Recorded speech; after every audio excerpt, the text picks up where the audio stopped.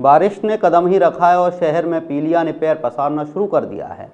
जिसके दुर्ग के खुर्सी पार में एक नहीं, चार मरीज़ मिले हैं। जिसके बाद जनप्रतिनिधियों ने लोगों को घर घर जाकर गर्म पानी पीने को कहा है। आपको बता दें, यहाँ पर पाइपलाइन और सीवरेज लाइन करीब से गुजरती हैं, जिसकी वजह से लोगों को गंदा पानी मिलता है। इसकी शिकायत आए दिन होती रहती है, पर कार्रवाई नहीं होती। जानकारी के मुताबिक चारों मरीजों का निजी अस्पताल में इलाज किया जा रहा है।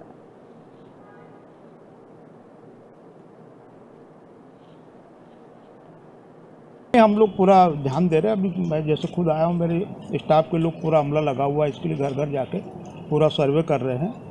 और निगम को भी हम लोग ये कर रहे हैं साफ़ सफ़ाई के लिए। आ, हमारे कर्मचारी घर घर जाके भी देख रहे हैं साफ़ सफ़ाई का भी ध्यान दे रहे हैं। तो सैंपल लेके उसकी जाँच जाँच किया जाएगा पानी दूषित का वही बता पाएँगे।